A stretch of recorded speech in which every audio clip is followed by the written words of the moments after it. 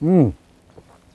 Servus Leute, ich lade euch heute ein bei mir auf meinem Platz, bei mir daheim, mit der Holzfeuerküche und mit ein paar meiner Feuerstellen zu sehen, wie ich das so mache. Heute mache ich das alles ganz allein. Darf ich euch vorstellen, einer meiner liebsten Feuerstellen habe ich im Vorjahr entwickelt. Übrigens heute in der Früh, weil mir die Sonne so schön ins Gesicht scheint, hat es minus 10 Grad gehabt. Ich bin um halb sechs aufgestanden, damit ich das alles herrichte heraus für unseren Dreh. Und da drinnen habe ich schon die Holzfeuerküche eingeheizt.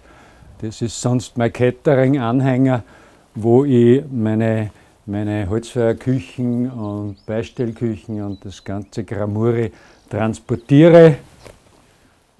Ich bin da in der glücklichen Lage, an so einem herrlichen Platz leben zu können.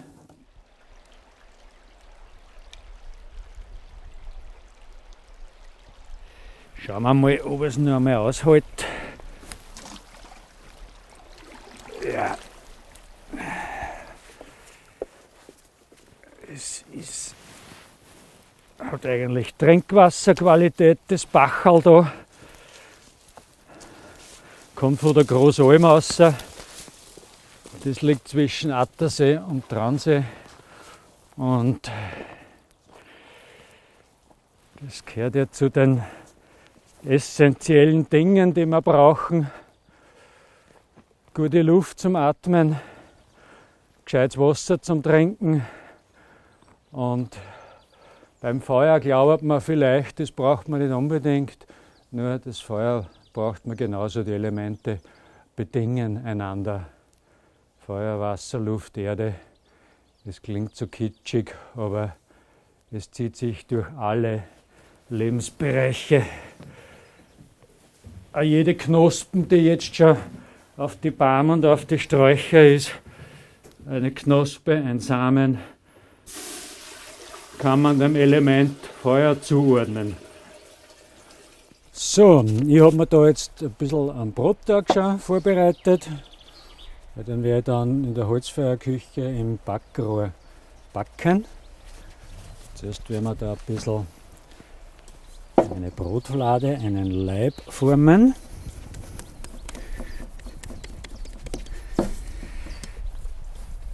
So.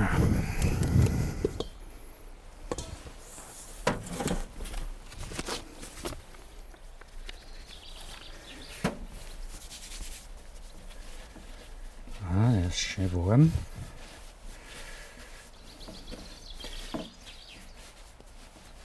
Der muss natürlich dann wie aufs Bockblech. Das habe ich mir schon vorbereitet. Ich habe da immer so meine eigenen Mischungen. Da habe ich schon ein bisschen Olivenöl drauf gegeben. Weil ich tue es dann einmal wenden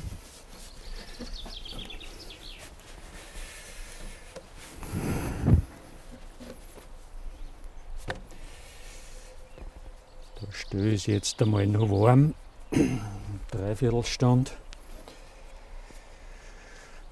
Ja.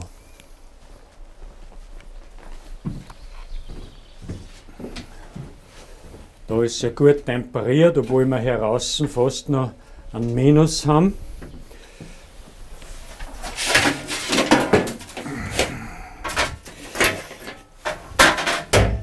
Da hinten schön warm, sodass der Brot dort gehen wird. Ja, das ist schon wunderbar temperiert. Schauen wir da. Da brennt es gerade gut. Hat es mir gemütlich weiter. Ja, dann schauen wir zur nächsten Feuerstelle. Jetzt möchte ich euch meinen persönlichen Feuerplatz vorstellen.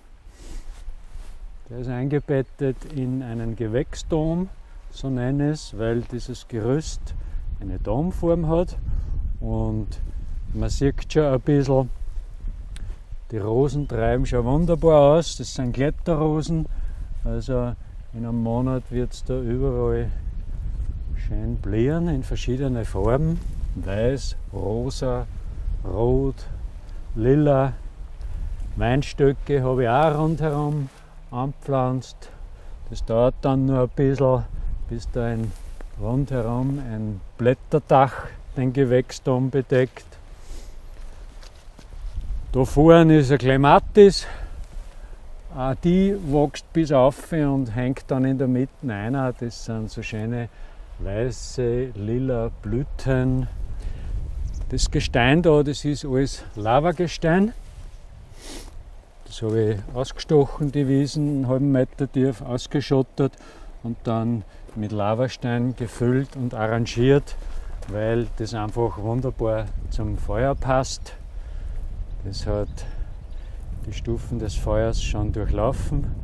Das ist unverwüstlich. Ja, willkommen an meiner Feuerstelle. Die kennt ihr ja vielleicht schon. Das ist die Regen- und Schneeabdeckung. Eine Edelstahldecke. Damit schütze ich die Feuerstelle.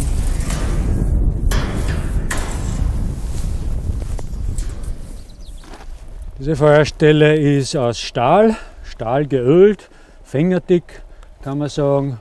Natürlich kann da leicht ein bisschen Flugrost entstehen, äh, aber das kann ich tausendmal bürsten, das wird uns überleben.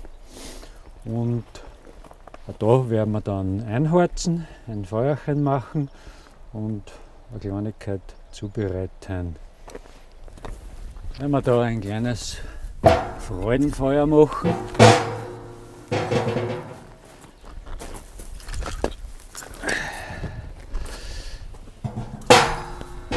Ist ja schön Platz drinnen.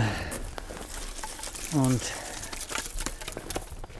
habe mir da von unserem Waldbestand schon ein bisschen ein angelegtes Druckers Wachholz hergekriegt, ein paar, Ast, paar Asteln. Die werden dann schön gerochen. Es gibt halt so praktische Anzünder, Holzwolle in Wachs getränkt. Stinkt nicht, das ist schön zum Angreifen. Kennt ihr wahrscheinlich. Wir haben keine Eile heute, überhaupt nicht. Nichts drängt uns. Also machen wir sie einmal ganz gemütlich ein Feuerchen. Hat auch einen schönen Sound, habt ihr gehört?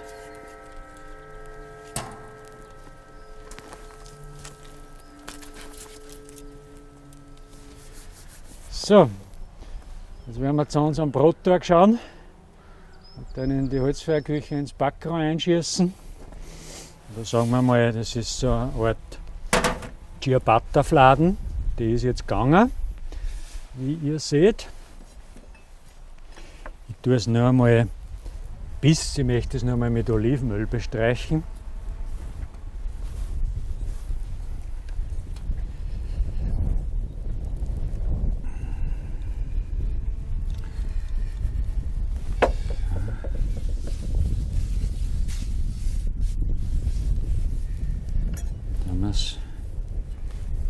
einschneiden, weil das schaut nachher schön aus. Und es bockt. Wenn es gebacken ist. So, dann habe ich da auch noch einen Rosmarin.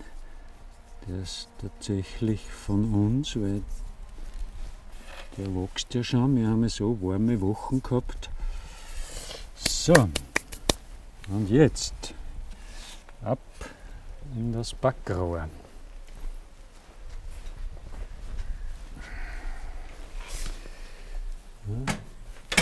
Schirmen wir es einmal oben auf, weil eingeheizt und vorgeheizt ist ja schon. Ja, schauen wir in 20 Minuten schauen wir mal nach. So, liebe Leute, da bin ich wieder. Ich habe da drei Wildschweinbratwürste die sind von meinen Nachbarn, das ist ein Jager. Und Ich habe die schon in heißem Wasser ziehen lassen, die sind also innen schon heiß und durch, aber für den Geschmack werden wir es jetzt ein bisschen noch am Spieß tun.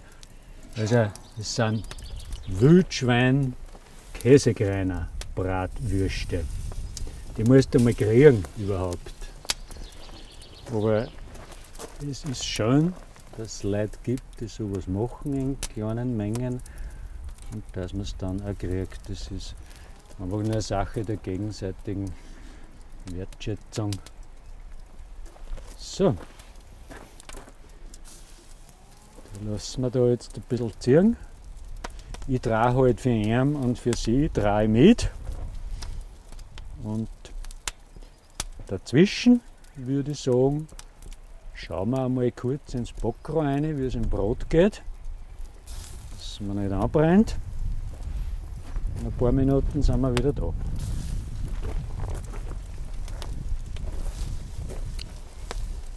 Na dann, schauen wir nach. Mhm. Gut. Naja, schau.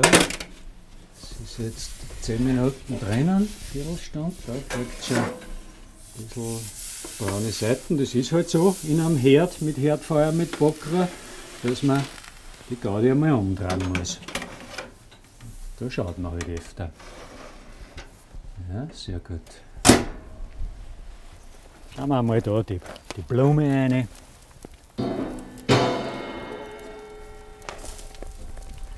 Wie ihr seht, sind da so schöne runde Öffnungen. Da machen wir vielleicht noch ein bisschen ähm, Kaiserschmarrn oder sowas in die kleinen Eisenpfandeln heute. Aber jetzt freue ich mich dann einmal auf ein Jausen mit meinem Filmemacher. So, ich mache dann auch ein bisschen einen dunsten Zwölfe dazu, was gut ist. Dann werden wir uns ein Bier von hier genehmigen. Eins für ihn, eins für sie, muss ich für mich noch eins holen. Und da haben wir Mango Habanero Sauce. Whisky Habanero Sauce und Ananas Pfirsich Habanero Sauce. Na Halleluja.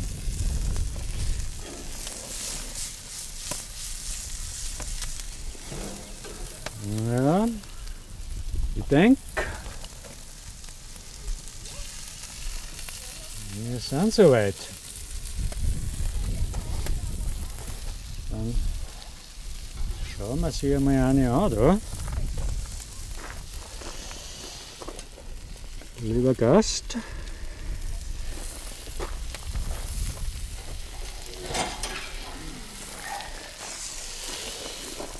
Schaut's aus? Ah,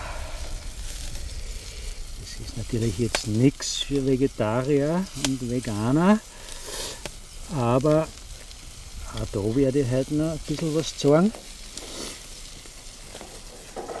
So.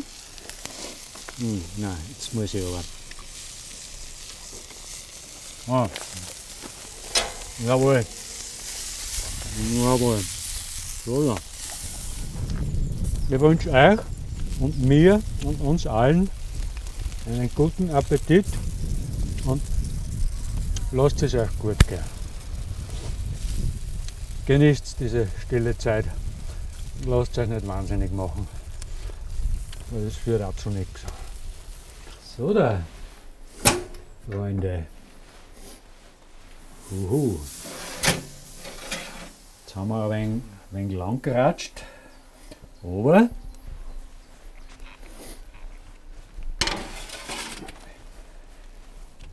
bisschen eine kleine Schlagseiten hat es gekriegt. So da. Heute kommt man oft zu Momenten, wo an die Worte fehlen. Es braucht auch nicht immer Worte, weil es uns zu so wesentlichen Punkten führt, dass man halt einmal innehalten muss. Vielleicht einfach tief atmet und sich bewusst wird, was denn das ist, da am, am Leben zu sein, zu atmen und noch gesund zu sein, wenn man es ist.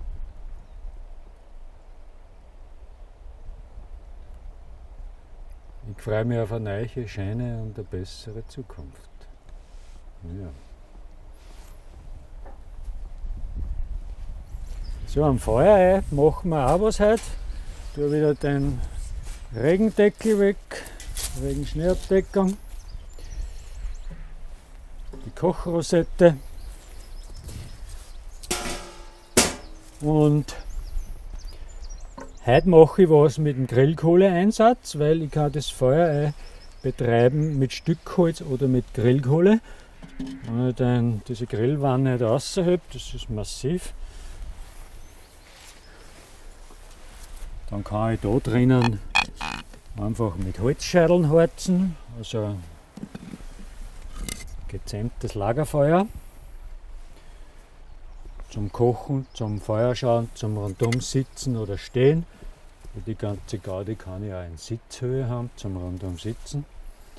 Aber wie gesagt, heute machen wir das mit Grillkohle.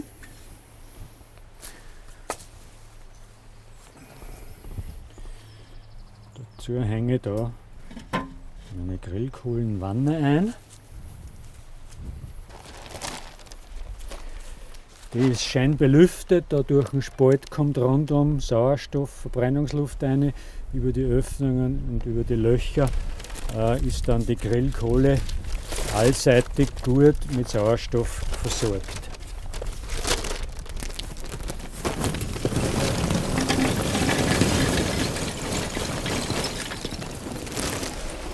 So.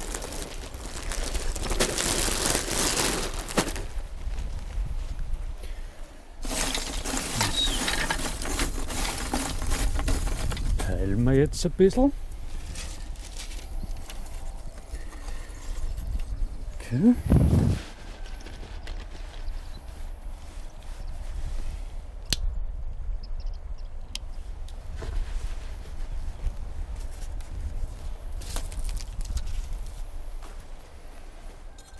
So, jetzt spült man sie halt ein bisschen.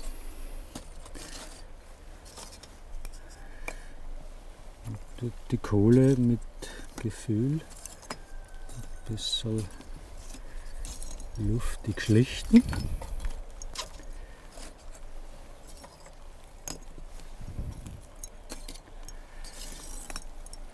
So.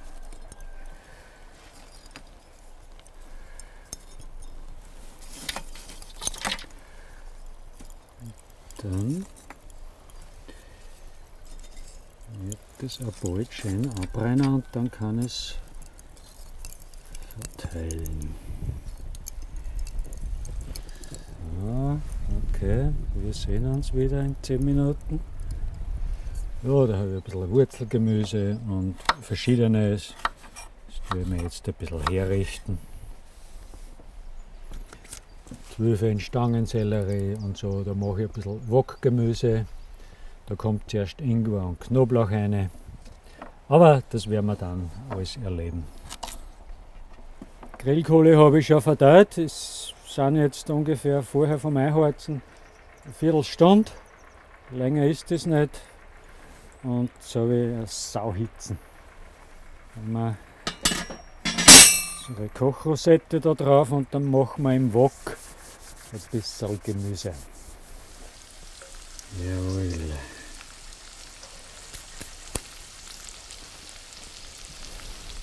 Nimm nur einen Hauch Habanero. Selber gemacht. Selbst gemacht von Freunden. Ein bisschen Stungersalz. Gut zum Anfangen. Bunter Pfeffer, eine Spur. Ja, jetzt wird es dann warm. Womit fangen wir an? Mal. Zwölfe, Jungzwiebel, rote Zwiebel.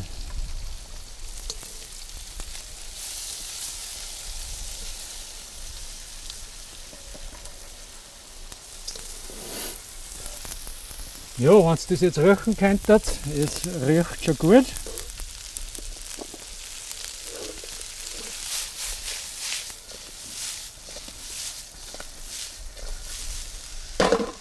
Wokgemüse soll ja schnell und knackig gehen.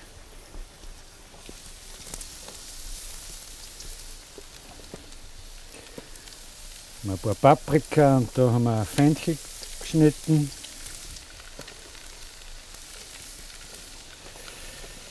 So, ein paar Zucchinis haben wir noch geschnitten. Das reicht einmal fürs Erste. So, jetzt probieren wir das Schatz. Brot. Ja, Kriege ich da jetzt was? ja, meine Liebste, mit der brauche ich keinen ich Abstand bin halten. seine Liebste. Ja, Wir dürfen uns auch küssen. ja, bitte. Mm. Danke. Schauen wir mal. Ah, ist die schön. Nehmen wir jetzt ein bisschen Wokgemüse dazu. Gut. Hm? Wie immer. Gut, war? Mhm. Ja, gut. Jawohl. Gibt es sonst noch was? Ja.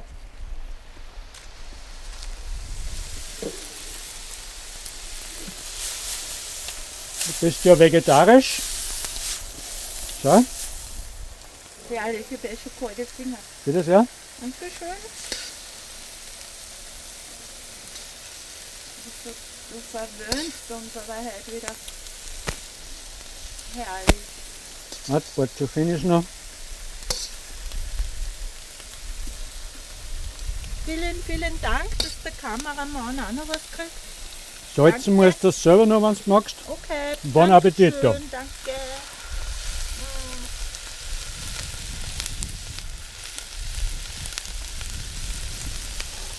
Machen wir da ein bisschen einen Schmoren oder sowas ähnliches. Da habe ich jetzt überall ein Stück Butter reingegeben. Ein ordentliches Stück Butter. Einfach weil es gut schmeckt. Und da habe ich mir schon ein bisschen einen festen Palatschinkentorg oder Kaiserschmarrntorg gemacht.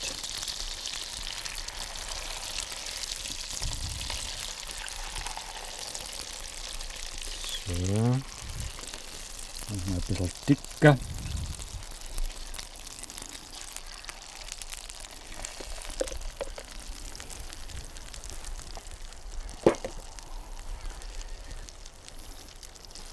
Und die tun jetzt langsam backen.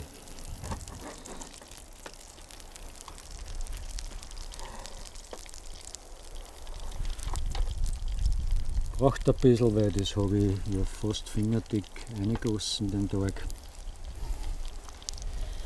So, meine lieben Küchlein, jetzt drehen wir euch um. Jawohl, sehr schön.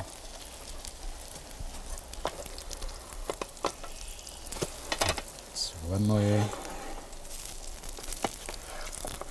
Also, sollen wir probieren, ob wir den schupfen können? Ah. So, ich habe mir schon rausgeholt aus den Pfandeln. Sind schon fertig. Noch ein wenig Zwetschgenreste dazu.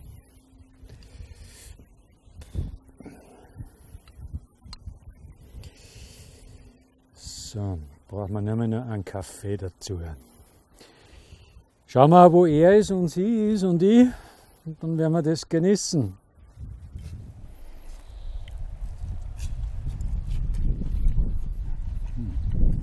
Einfach, aber gut.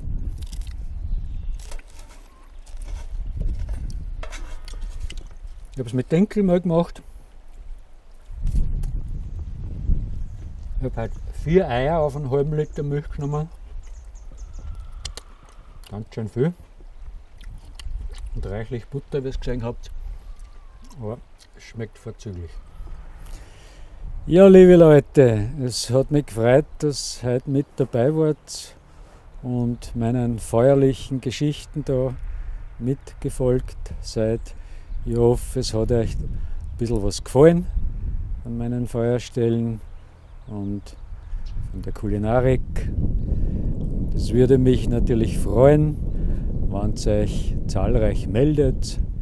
Auch in dieser Zeit des Umbruchs kann man Kontakt zueinander halten, telefonisch, per E-Mail, schaut auf meine Webseiten und ich freue mich drauf, wenn ich mit den einen oder anderen von euch zum Beispiel hier zusammensitzen kann. Alles Gute. See you.